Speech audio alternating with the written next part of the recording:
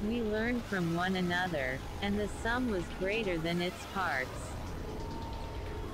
The common thread through our varied experience is that we continue to draw strength from NA no matter how much clean time we have, no matter how many steps we have worked, and no matter where life takes us.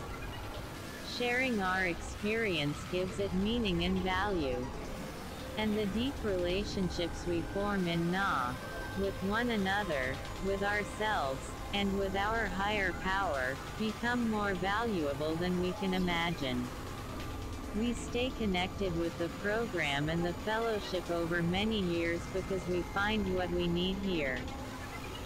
Where once we may have wondered how we could ever make NA a part of our lives, now many of us cannot imagine our lives without it. When we use the tools available to us, our recovery continues to thrive no matter what we face or how long we stay clean. The most important thing about living clean is that we are alive to do it, and for people with the disease of addiction this is nothing less than a miracle. We do recover to live full and rewarding lives. Those lives present us with challenges, some of which we never expected. Living beyond our wildest dreams often means that we are in uncharted territory.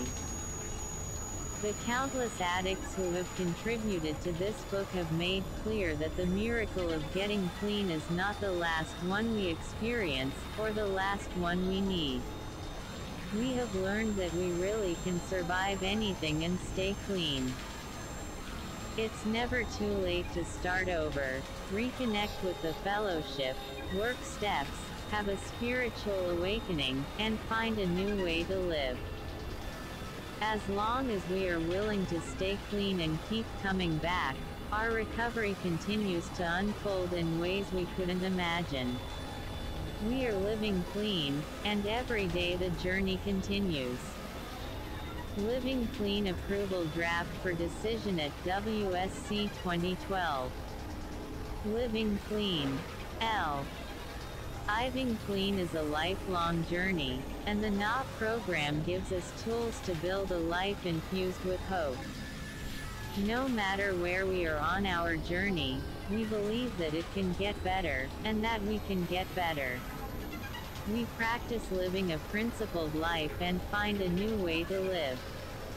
We try new things, and some of them suit us better than others.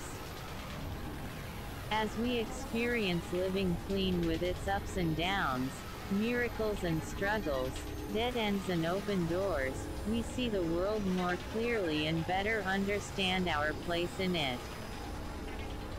The program of Narcotics Anonymous is the way we have found to escape lives of desperation and pain. But that's not all NA is. It's a path, a process, and a way of life. Many of us come in with just the barest hope that we can get the pain to stop. In the beginning, our willingness is born of our suffering and fear.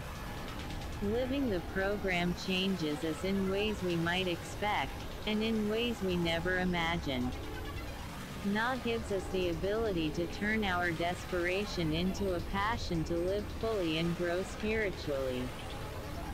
We experience relief almost from the beginning of our recovery, and our first experiences of joy are like seeing color for the first time.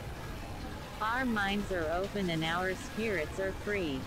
Even if we experience it only for fleeting moments, that joy carries us through our hardest days and nights. It's not what we think about our recovery that matters, it's what we do. Living clean is a spiritual process, and it teaches us that the world is bigger than we imagined and not as far out of reach as we had feared. Our flawed beliefs about people who didn't use drugs shaped our opinions about what we might be like when we stopped. When we first got clean, many of us worried that our lives were about to become small and boring. What we find really is beyond our wildest dreams. We have opportunities and the ability to follow through on them. Perhaps more importantly, our connections with people become intensely important and satisfying to us. The close friendships we have with members who share our recovery can be a deeper connection than family. We share an intimacy that is really special, and when we carry that over the course of many years, it grows into an abiding affection and understanding of one another. Commitment to recovery is essential for us. Maintaining recovery as a priority may come to mean different things for us over time. We need to maintain our connection to NA, but taking responsibility for our lives also matters. So many things compete for our attention, and as addicts we have a tendency to think in extremes, all or nothing, right or wrong. Finding the balance is an ongoing negotiation. Attending meetings regularly doesn't have to mean every night of the week, but meetings continue to matter for our own well-being and for our ability to carry the message. Keeping that lifeline strong and ready is a matter of continuing maintenance. It gets easier when we let go of the idea that it ought to be hard. After many years of recovery, a member shared that he was finally able to answer the question, is it possible that life is really this simple? With a simple, yes. The principles we practice in NA have meaning throughout our lives. They offer us a way to stop using and to free ourselves to be ourselves. Working the steps, studying the traditions, and applying ourselves to service in and out of NA helps us to discover who we are and what. 9. 10. We believe. Carrying the message brings us awareness of our gifts and limitations, and guides us to change. We can measure our lives not in years or by the things we gain or lose, but by the degree to which we make peace with our own lives and the world around us. Spiritual growth is the real success. As our recovery unfolds, we find ourselves resolving feelings we never admitted we had. Open-mindedness gives us the ability to see more and more clearly within ourselves as we go through the never-ending process of surrendering, taking inventory, and inviting change. The message we carry has three parts. Any addict can stop using, lose the desire to use, and find a new way to live. We talk a lot about the first two, because stopping is an emergency when we get here, and losing the obsession is necessary for us to enjoy our lives. But the hard work does not end there. Finding a new way to live is not something we do just once. Some of us experience great upheaval as we try again and again to find a life that makes sense for us. But we continue to carry the message, using our experience to help others. The more experience we have to share, the richer our message can become. Keys to Freedom As we practice these principles in all our affairs, they gain traction in our lives, and they start feeling more natural. For example, in the beginning we may have to consciously practice being honest. As we continue this practice, we find dishonesty progressively more uncomfortable, perhaps even agonizing, and gradually we notice that honesty has become more normal for us. We are basically honest people, and we even like it. Some say this is how we know a higher power is involved. When our defects are removed, we may not feel them go. We may not even notice the change unless we fall back into old behavior and find that it is no longer comfortable or workable for us. We call our sponsor in distress over having done it again, or even because we are thinking about acting on that old defect, and realize how long it has been since that behavior had crossed our minds. Learning to survive our impulses without acting out is a new freedom. Over time, the desire to act against our values begins to fade. Our self-made prisons no longer serve us. We are free to explore and discover what we are good at. We are free to participate, create, care and share, surprise ourselves, take risks, be vulnerable, and stand on our own two feet. We find our beliefs and begin to act on them. We make decisions based on our values. We walk through fear and wake up to the miracles that surround us. We are free to be who we are and live as we choose. When we feel the deepest gratitude, we can look back and see that our path to that moment was neither short nor straight. What seemed like the worst decisions at one time in our recovery opened the door for some of our greatest opportunities later on. We may simply outgrow some of our decisions. What was right for us at one point in our recovery may not be right for the rest of our lives, but it can be difficult for us to move on. Gifts can come wrapped in such strange packages that we don't always recognize them when they arrive. Nothing that happens is entirely good or entirely bad. We do not pretend that there are no Living Clean Approval Draft for Decision at WSC 2012. Chapter 1 Living Clean. 11. Mistakes in recovery, but sometimes those mistakes can take us in a direction we hadn't thought of before. Recovery is not a standardizing, cookie cutter process. We don't all go through the process in the same way, and we don't all come out of it the same. But there are some familiar landmarks we pass. We have phases and stages, corners we turn, staircases we climb. Each of us has periods of intense growth and times when change is more subtle. Having a new way to live means that we have to live in new ways, and we can get confused or lost even when we have many years clean. Allowing each other room to grow at our own pace is difficult, especially when we care for each other, but self-acceptance and self-respect are the result of going through the process in our own way. Time is not the same as experience. Just because we have been here for a long time doesn't mean that we know everything we need to know. We don't graduate from the simple steps that keep us clean and free. Our lives continue to unfold. We start at different places and we grow at different paces. Time represents the opportunity for growth, but we still have to step up to the challenge and be open to the lessons. Practicing honesty, open-mindedness, and willingness keeps us teachable, grateful, and humble. The difference between humility and humiliation can be the level of acceptance we have about the information we get. When we listen with an open mind, anyone can carry a message to us. There are no unnecessary principles in NA, though we may learn them in our own time and in our own order.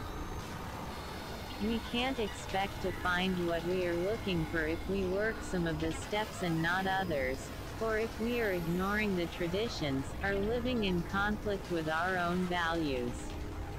Spiritual principles are not dependent on time or circumstance. We learn by observation and experience. There is a difference between feeling like we are so sick that we will never get better and knowing that we are never done growing or recovering. Exploration lasts a lifetime. We begin over and over. It gets easier to act in our own best interest, even when we are feeling resistant. A member shared, I often hear newcomers say that they can't imagine going to NA meetings for the rest of their lives. I had the same reservation, but today I can't imagine my life without NA. We learn to do what we have to do, as well as what we want to do. We don't always want to work our program, but we know the rewards we get when we take responsibility for our recovery, and the consequences when we do not. New information can be hard for us to accept when it doesn't come to us in the way we think it should. Whether the information itself is surprising or the messenger is not someone we usually look to for guidance, we may dismiss new ideas because we don't like the package. A member shared, I would stand on my head in a corner if my sponsor told me it would work, but when the words that could save my life come from someone I really don't care for, it's easy to dismiss them. New tools are available to us when we allow ourselves to be surprised by both the message and the messenger. If it brings us to reevaluate our belief system, so much the better, we can see our initial resistance as a reservation in our willingness. Trying new things in recovery is one way we keep ourselves from getting stuck. No matter how long we have been clean, we can go to meetings and listen for the music. It's like when your ears pop, a member shared. Suddenly, I could hear what I didn't know I was missing before. Living Clean Approval Draft for Decision at WSC 2012. 12. Our traditions teach us that in NA there are no classes of membership. It follows that the new member is as likely to save the life of the old-timer as the reverse. When we stay open to that reality, many of the limitations we set for ourselves disappear. We teach by example. Even when we are teaching what not to do, we are still carrying a message. Sharing our experience gives it meaning and value. Our hope is that the next member will do better than we did, that they can learn from our mistakes. It doesn't always work. We are people who tend to learn things the hard way. But when a member with two years clean shares with us that the experience we had at 10 years clean kept them from doing the same thing, we know that we are getting better, personally and as a fellowship. Wisdom is building on past experience to cope with new events. When we think about our lives now in contrast to our active addiction, it is important to remember that, it is not where we have been that counts, but where we are going. But where we have been in recovery is the foundation of our wisdom. We learn from our experience, and we use it to help others. Our wisdom grows as we learn to see ourselves honestly, without judging or jumping to conclusions. Growing pains. Sooner or later, we experience a particular kind of opportunity or catastrophe we haven't heard about in meetings. Sometimes an event like a breakup, the loss of a job, or changes in our family triggers a flow of feelings, and it doesn't stop. Grief, hardship, or betrayal can make us feel terribly lonely. Occasionally, we experience physical changes that bring emotional freight with them, including depression, anxiety, and deep fear. There are also times when we find ourselves in crisis even though the circumstances of our lives look pretty good. Even the excitement of living our dreams, taking on a new career, moving to a faraway place, creating a family, can make us feel like we don't belong. Sometimes an outside event starts the ball rolling, at other times a cascade of emotions seems to start from nowhere. It can feel like we are backed into a corner, even if nothing is really happening at all. Once we have been through this feeling and survived it clean, we know it won't last forever. But that doesn't mean we can see our way out. We come through these experiences with a deepened understanding and faith in our recovery. Through hard work and grace, if we keep coming back, we do get free.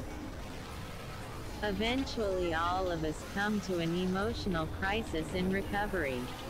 We start wondering if recovery will last, or if we had just gotten a brief reprieve and we are about to go crazy again. A member shared, My life seemed stable by outward appearances, but inside I was a mess. I was clean, but miserable, reactive, and fearful. We find ourselves in these dark places sometimes with many, many years clean. We deal with our addiction, but some of our underlying issues remain untouched.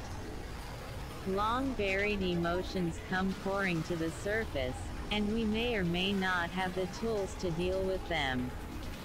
As I discovered things about myself, a member shared, my emotions started to run amok. There are no bitter ends in recovery, but sometimes it feels like that's where we are. Recovery gives us a new chance at life. Sometimes we have to accept that invitation more than once. Living Clean Approval Draft for Decision at WSC 2012. Chapter 1 Living Clean. 13. The bottoms we hit in recovery can be frightening. We go through some dark times. When we are in pain, it can be hard to reach out, and easier to see differences. But even in the darkness the process is still going on. When NA members say, don't give up five minutes before the miracle, we're not just talking about the first one. Our lives are full of moments when we are faced with the difficult decision to grow or go. Many of us leave not when things are horrible, but when we have one more spiritual hump to get over. We lose our way right before the miracle, sometimes again and again. The faith that leads us to build a successful life may not be sufficient to sustain that day after day. A new kind of surrender is necessary if we are to stay clean and keep growing.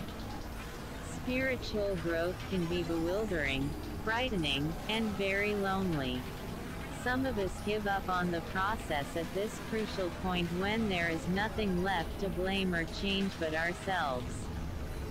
Selfishness and self-centeredness die hard.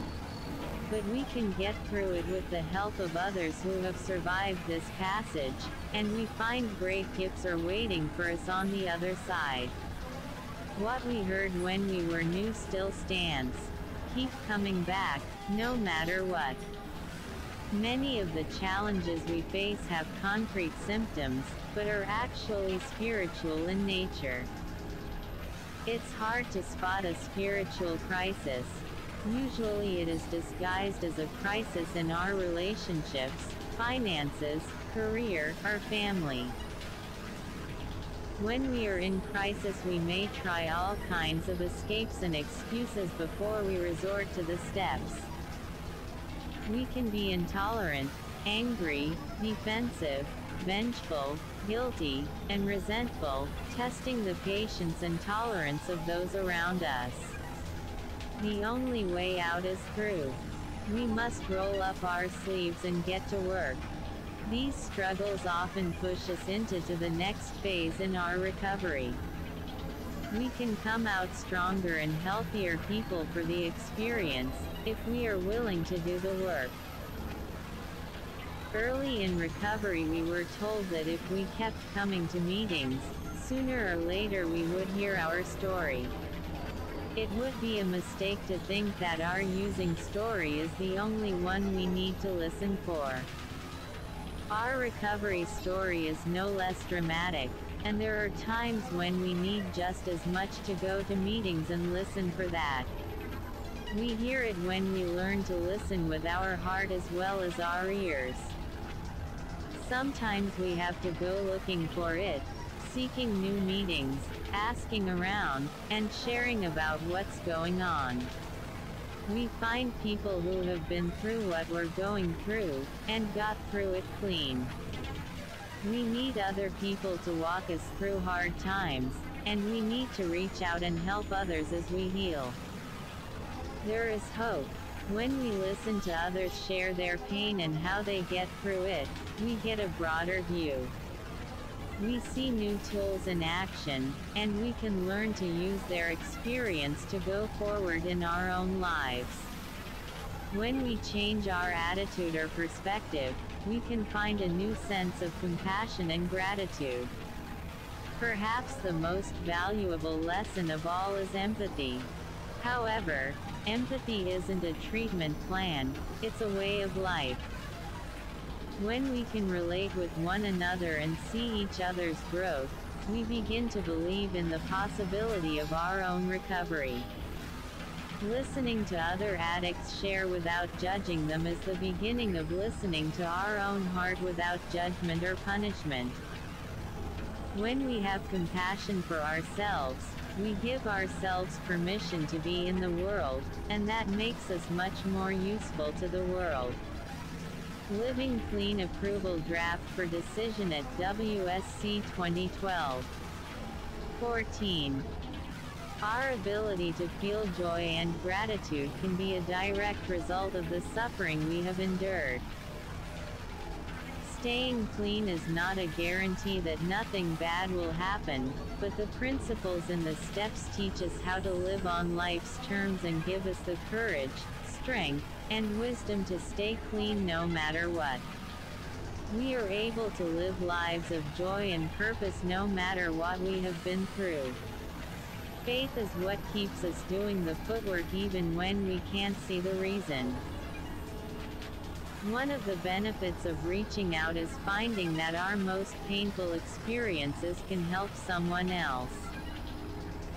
When we say, I've been through that, and I stayed clean, we realize with gratitude that we have gotten to the other side of something we had feared we could not get through. There is great satisfaction in being able not just to look back, but to reach back and help someone else across. Getting through hard times strengthens our faith. When we are grappling with issues that don't have easy answers, we experience our greatest growth. One member suggested, there are spiritual tourists and spiritual explorers. One plays it very safe, and the other will step right out there and try God out. We get more certain of that relationship as we go. As we mature in recovery, we learn to be comfortable with the hard questions rather than only feeling okay when we think we've settled them. Having all the answers makes it hard to be teachable.